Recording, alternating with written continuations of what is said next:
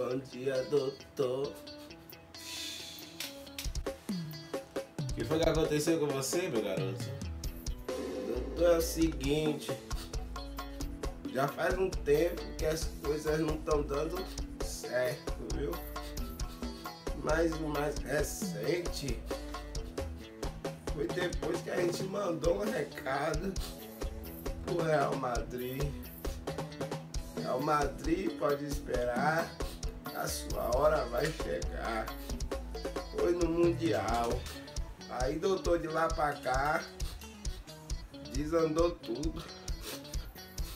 Doutor,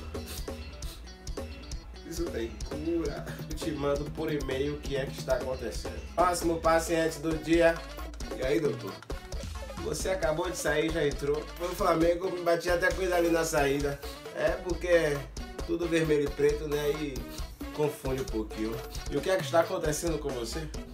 Rapaz, tem um bom tempo aí que é só pau, pau, pau direto.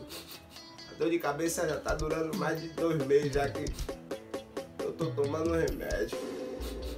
Mas e aí, doutor? Resolva meu problema aí, meu parceiro, na moral mesmo, vá? Pelo visto, vocês estão sofrendo de uma maldição. A maldição rubro-negra. Ah, só com o tempo, né? Tá tranquilo, viu? Eu vou comprar mais umas caixas de, de de pirona.